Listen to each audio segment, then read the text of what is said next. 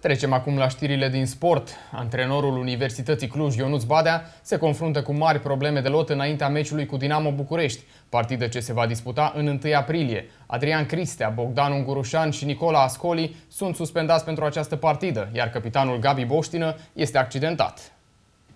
Universitatea Cluj va avea o misiune dificilă în următoarea etapă de campionat. Studenții vor da piept vineri pe 1 aprilie cu Dinamo București, însă clujenii nu vor putea alinia cea mai bună echipă la start pentru că numai puțin de patru jucători importanți din angrenajul echipei sunt indisponibili. Fundașul italian Nicola Scoli și mijlocașii Ungureșan și Cristea sunt suspendați pentru partida cu gruparea din Ștefan cel Mare, iar veteranul Gabi Boștină este incert după ce a suferit o ruptură musculară, medicii fiind rezervați în privința recuperării jucătorului până la ora meciului. Soarta lui Nicola Scoli, care a fost eliminat la Galați după ce și-a lovit un adversar în partida cu Oțelul, va fi decisă de Comisia de Disciplină din cadrul Federației Române de Fotbal. Forul de la București ar putea mări suspendarea fotbalistului care oricum va urmări din tribună următoarele două partide ale echipei sale.